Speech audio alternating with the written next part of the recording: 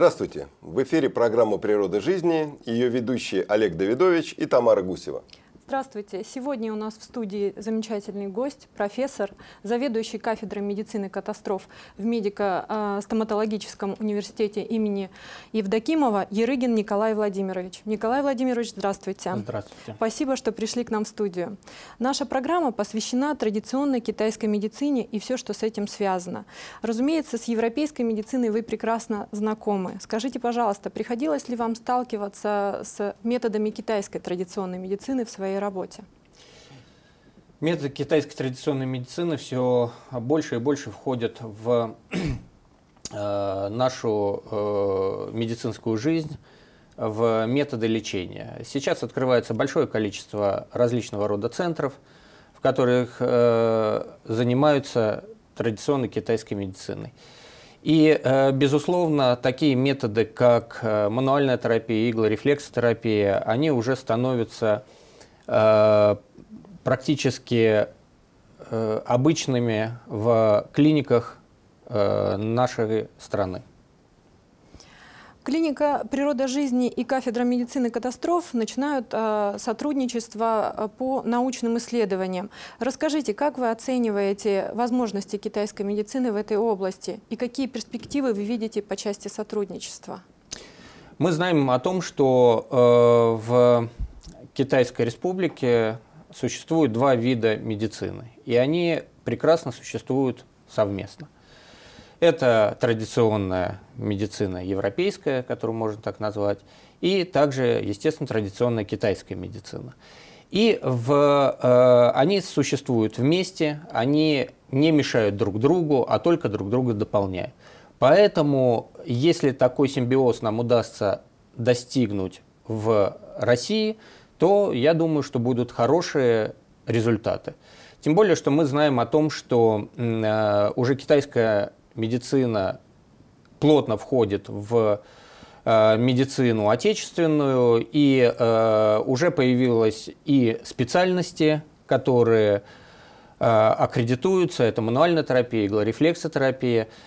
И э, в ближайшем будущем мы надеемся, что э, научные результаты и те результаты, которые дает эта медицина, приведет к тому, что появятся не только лечебные специальности такие, но и научные.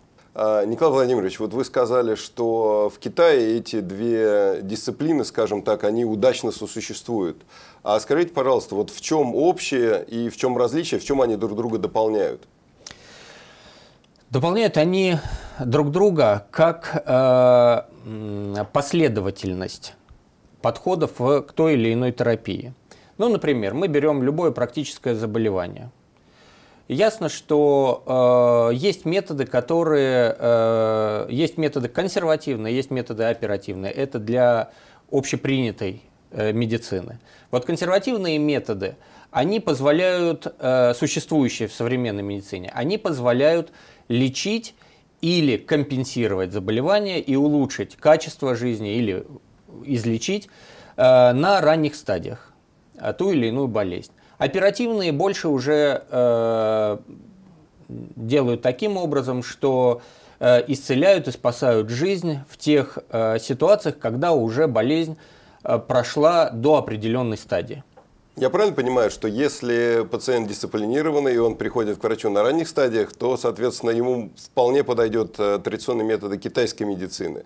А если он уже запустил свое заболевание, то, как говорится, уже резать это традиционной европейской. Вы правильно это поняли? А, консервативная, она есть и в традиционной э, европейской медицине. Угу. Но, безусловно, китайская медицина, она дополняет европейскую. Угу. И шансов на то, что не произойдет операции, что хорошо, э, это э, дает больше шансов на это. Вот э, есть такой на Востоке закон Бушидо, да, закон воина, скажем так, или путь воина переводится. Интересно, ну-ка да? расскажите. Вот там говорится о том, что самый хороший бой – это тот, который удалось избежать.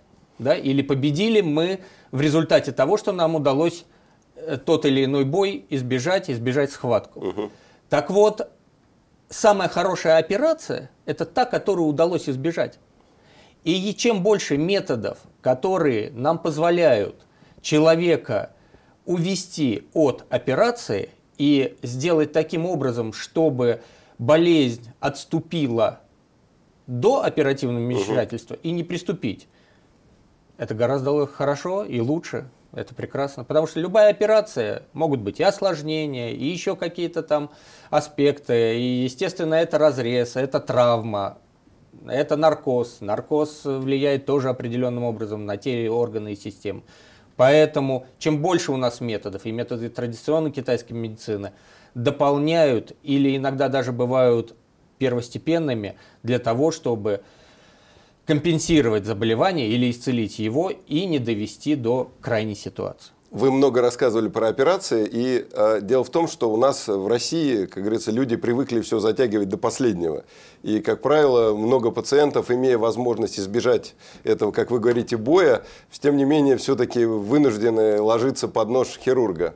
А, а вот когда операция состоялась, то дальше уже после этого это все-таки консервативные методы, и э, китайской медицины или европейской, или они как-то вместе, то есть в реабилитационный период. Как это все лучше должно происходить? Если можно, я вначале с наших э, уважаемых граждан, которые затягивают. Угу. Да? Вот э, философы Востока, угу. опять же, да, они говорят таким образом. Есть треугольник. Это врач, это болезнь и это больной. Вот врач, он борется с болезнью. Болезнь борется с врачом для того, чтобы победить. Остается вопрос, на чьей стороне находится больной. Если он находится на стороне врача, то они вдвоем, скорее всего, победят болезнь. Если же больной э, находится на стороне болезни, ее холит или лелеет, то, скорее всего, ни один врач не сможет ему помочь. Вот в этом и находится как бы э, тот момент, почему затягивают, да, да, у нас много дел, да, мы бегаем, мы стремимся там решать какие-то вопросы и так далее, так далее, так далее. И забываем о своем здоровье. Но насколько больше вопросов мы могли бы решить, если бы наше здоровье было бы лучше, если бы э, мы за ним следили. И поэтому вот здесь каждый человек, он должен принять решение он на стороне здоровья, и поэтому следит за собой, если какой-то возникает вопрос, он начинает этим заниматься. Или же он на стороне своих каких-то привычек, своих каких-то э, убеждений, да, непонятных, которые ведут, наоборот, к болезни. Ну, например, курение. Все знают, что курение вредит, да?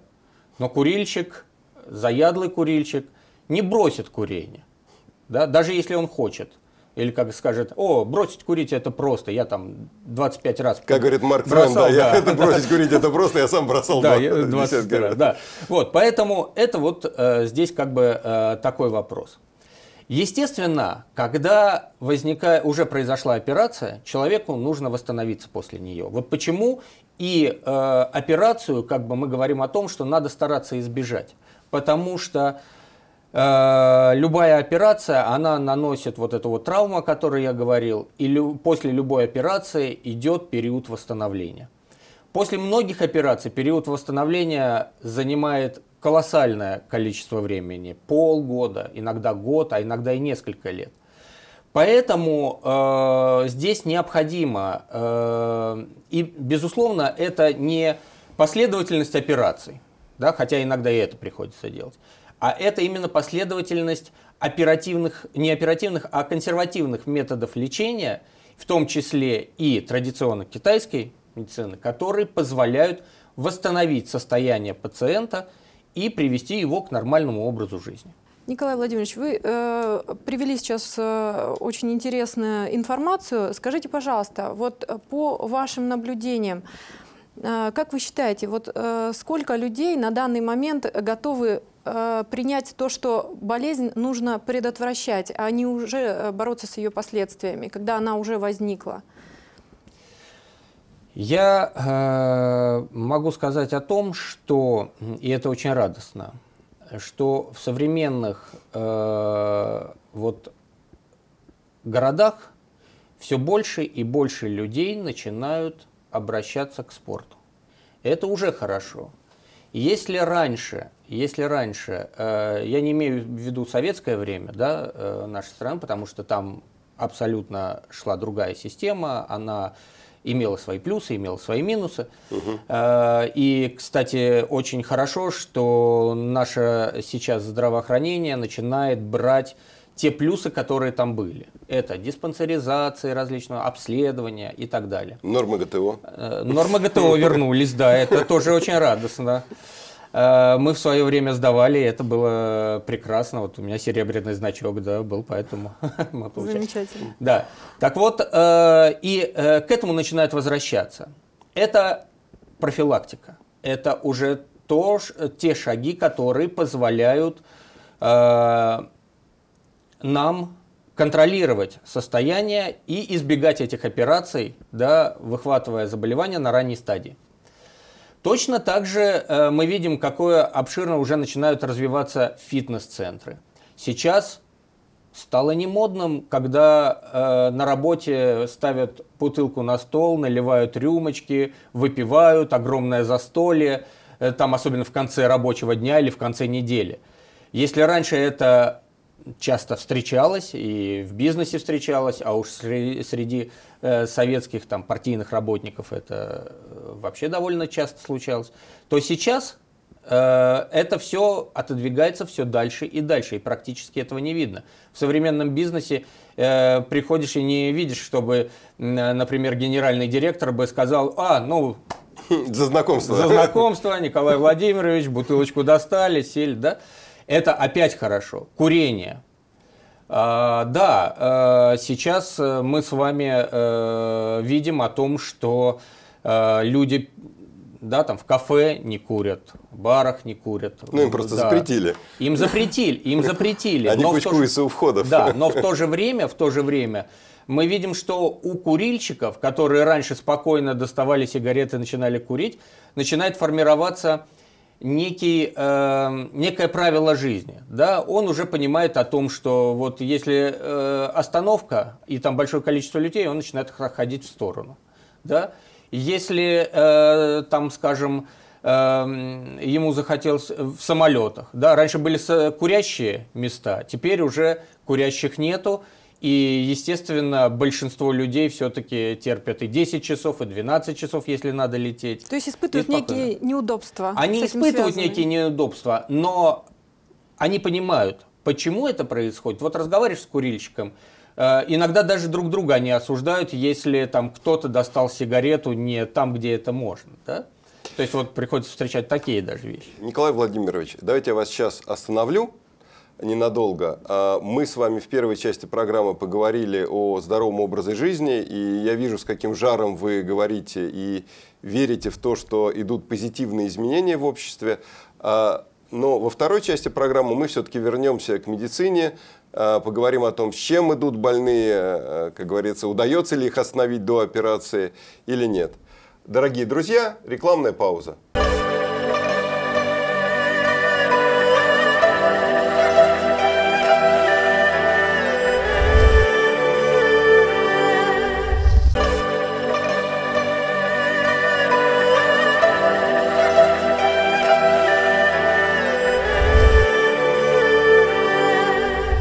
Здравствуйте.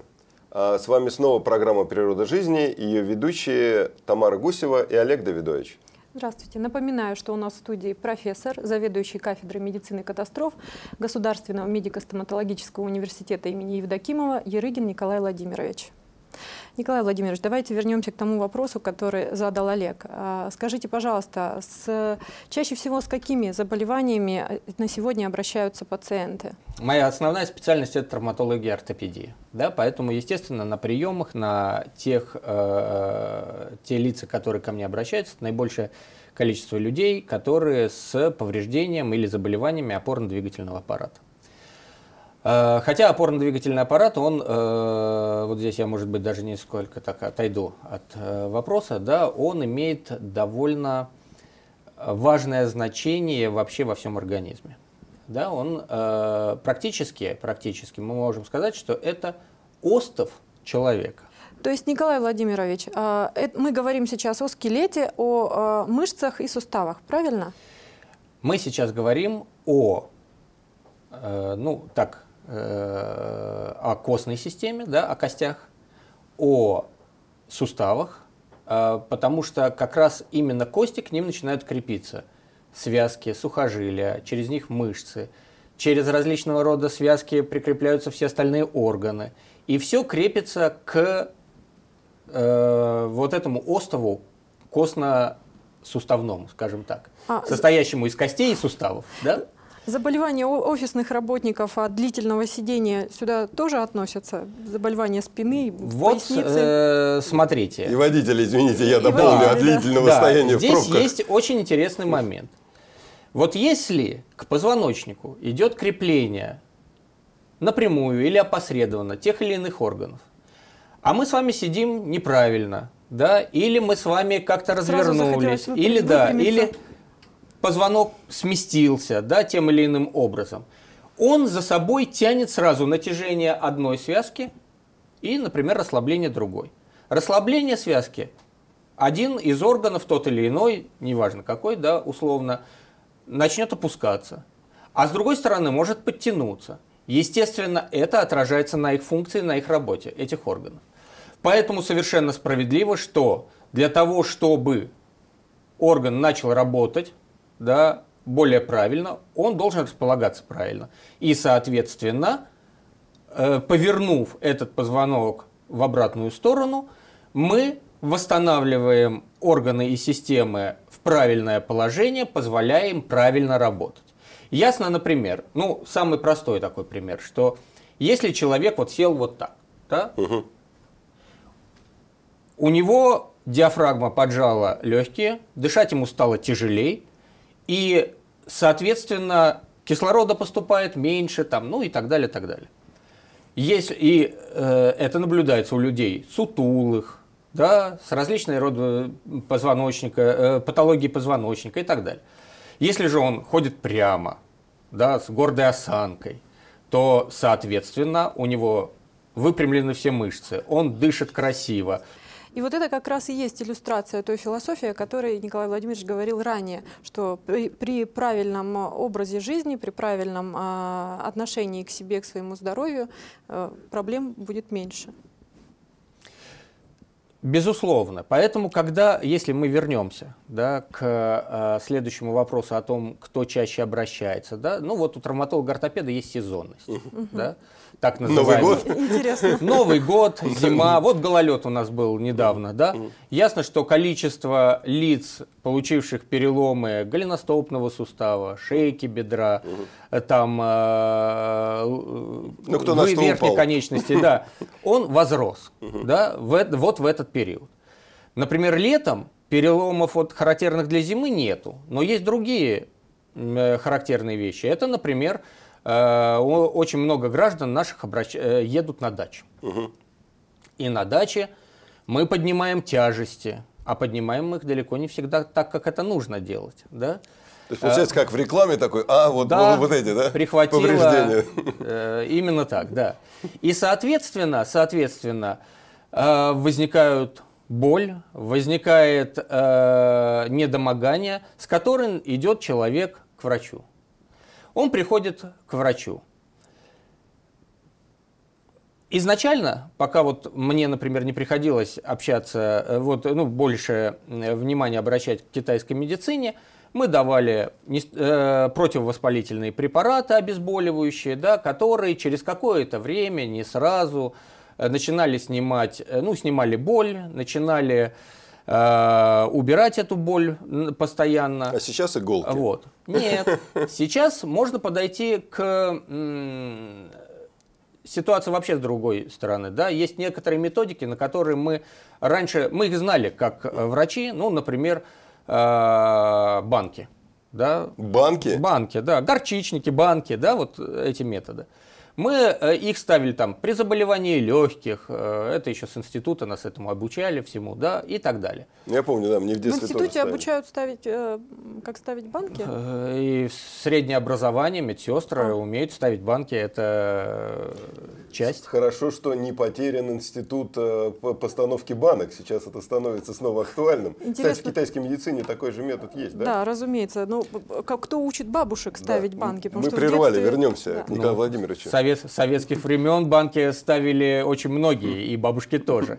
Более того, сейчас есть банки, которые не нужно, э, значит, подносить факел там и делать как-то и ставить. да? Самоприсасывающие, А сейчас да? есть при- самоприсасывающие банки, которые имеют тот же самый эффект, но э, для этого избегается вот этот вот огонь со спиртом там, и так далее, которые могут привести к той или иной какой-то проблеме. Так вот, эти э, банки, вот мне, например, пришлось несколько раз при помощи банок, э, вот опять же, э, находились в университете, приходится работать и с бумагами, готовиться к различного рода проверкам. И, э, естественно, когда работаешь с компьютером, опять кто-то сидит неправильно, устает спина, происходит и возникает боль. Боль возникла, ставится банка, человек отлежал э, там где-то 10-15 минут, на следующий день у него эта боль уходит и все. Без таблеток. Без таблеток, без каких-то других вмешательств и так далее, так далее, так далее. Вроде бы ерунда, да, но она помогает и она действенна. И, э, к сожалению, вот многие врачи об этом еще пока не знают, но мы будем И надеяться, не что- применяют. и не применяют. Прям напрашивается вопрос, а какие еще методы, ну, не знаю, народной медицины, русской или традиционной китайской медицины могут э, помочь э, избежать приема препаратов и действительно так же быстро... Воздействие на печень. Да, воздействие на печень, да, и также быстро помогать, как банки. Э, Ну, есть большое количество э, методов, да, я не буду касаться там э, лечения медом, массажа, да, я не буду касаться, это как бы традиционно Шоколадное русские оберт- уже, да, шоколадное обертывание. обертывание там и так далее, да. Хотя и в этом есть определенный э, позитив, потому что даже если э, та или иная методика э, не влияет непосредственно вот э, как бы на сам организм, да, но э, в любом случае человек пришел, он в это верит. А уже вера в, ту или, в тот или иной метод, как плацебо, да, как это говорят, он уже во многом помогает. Плюс ко всему мы с вами знаем, что э, когда ты находишься, там, принимаешь ванну с различными ароматизаторами и так далее, которые тоже положительно влияют э, на э, наше состояние. И так далее, так далее, так далее. Да? э, Поэтому э, здесь методик очень много. Э, И э, с ними один владеет одной методикой, другой другой методикой владеет. Да? Поэтому э, здесь даже так и не перечислишь всех методик, которые э, происходят, начиная от точечного массажа и банок, и заканчивая вот, мануальной терапией, глорефлексотерапией, э, там, герудотерапия при помощи пиявок. Да? Вот.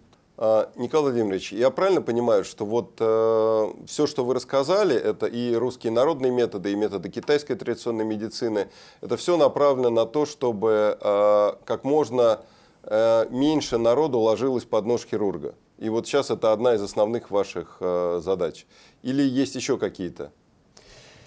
Э, Меня сейчас стало больше э, интересовать именно лечение различного рода заболеваний, хронических заболеваний, которые, с одной стороны, не поддаются хирургическому лечению, и с другой стороны, они не эм, компенсируются и не вылечиваются при помощи мет- методов, которыми обладает современная медицина европейская. А можете привести пример, какие конкретные заболевания а, не поддаются методами э, ле- лечения методами европейской медицины? Ну, к этим заболеваниям относится э, довольно большое количество э, заболеваний, например, э, Ну, самые распространенные. самые распространенные различного рода тендовагениты, воспалительные реакции, это иногда артриты, те, которые э, возникают на стадии, когда еще вроде бы оперировать рано и нету показаний основных, но в то же время все методы, которые проходит данный пациент, прошел э, современной европейской медицины, не помогли или не привели к э, компенсации этого заболевания. Соответственно, мы должны расширить свой круг и перейти к тем методикам, которыми обладает мировая медицина и позволяет это, э, эти заболевания лечить или компенсировать их. Вот мой, на мой взгляд, традиционная китайская медицина, она именно, это один из тех путей, которые нас могут привести к тому, чтобы э, помочь нам или помочь методом европейской медицины справляться вот с такого рода заболеваниями. В завершении хотелось бы задать вам вопрос. Какими вы видите первые шаги сотрудничества э, со специалистами китайской традиционной медицины, которые приехали к нам в Россию, в Москву для совместной работы? Мне интересно э, на основании доказательной медицины, на основании доказательств, каким образом работают те или иные методы. Именно показать это, обосновывая и показывая теми способами, которые мы имеем диагностики и э, проверки, э, которые есть у нас в арсенале. Э, дорогие друзья, на этом мы с вами прощаемся. В гостях у нас был Ерыгин Николай Владимирович. А вели программу Тамара Гусева и Олег Давидович. До свидания, до следующих встреч.